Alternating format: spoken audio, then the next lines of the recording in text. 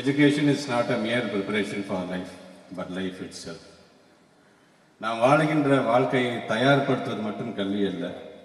கல்வியே ஒரு வாழ்க்கை முறை தான் என்பதை உணர்த்துகின்ற விதத்தில் தான் இன்றைக்கு தமிழகத்தினுடைய மாண்பு முதலமைச்சர் அவர்கள் கல்வித்துறைக்கென்று அந்த அளவுக்கு அவர் அந்த முக்கியத்துவத்தை வழங்குகின்றார் அதற்கு ஒரு உதாரணம்.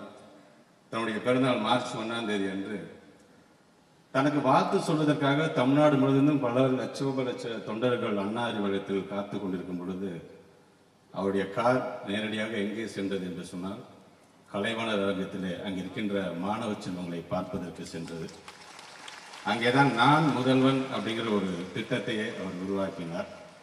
இந்த நான் முதல்வன் திட்டத்தை உருவாக்கிவிட்டு அவர் பேசும்பொழுது சொன்னார் படிப்பு என்பது பட்டம் சார்ந்ததாக மட்டுமல்லாமல் வேலை என்பது சம்பளம் சார்ந்தது மட்டுமல்லாமல் நீ அடைகின்ற உயரம் என்பது உனக்கு வழங்கப்படுகின்ற சலுகை சார்ந்தது மட்டும் அல்லாமல் இவை அனைத்துமே திறமை சார்ந்ததாக இருக்க வேண்டும் என்கின்ற அது மிகப்பெரிய ஒரு லட்சிய வாக்கினை அன்றைக்கு சொன்னார்.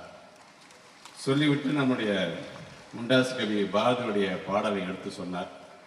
ஒளிபடைத்த கண்ணினாய் வா வா வா உறுதி கொண்ட நெஞ்சினாய் வா வா வா. கழிப்படைத்த மொழியினாய் வா வா வா. கடுமை கொண்ட தோடினாய் வா வா வா. தெருமை பெற்ற மனித மதியினாய் வா வா வா என்று சொல்லினார்.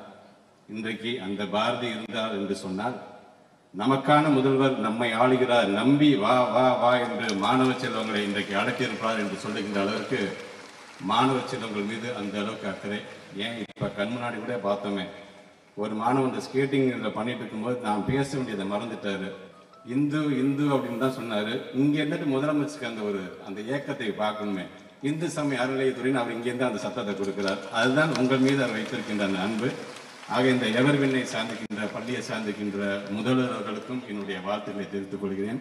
தொடர்ந்து இது போன்ற ஒரு பள்ளிகள் இந்த பள்ளி மட்டுமல்ல எங்களுடைய அரசு பள்ளியும் இன்றைக்கு நம்முடைய மாண்புகள் முதலமைச்சருடைய தலைமையில் இயங்குகின்ற ஒவ்வொரு அரசு பள்ளியும் அது வறுமையின் அடையாளம் அல்ல. பெருமையின் அடையாளம் என்பதை மாற்றி காட்டுகிற அளவுக்கு எங்களுடைய உழைப்பை தருவோம் என்று சொல்லி நிறுவனர் புருஷோத்தமன் அவர்களுக்கும் இந்த நேரத்தினுடைய வாழ்த்துக்களை தெரிவித்து இந்த அளவு நிறைவு செய்கிறேன். நன்றி வணக்கம்.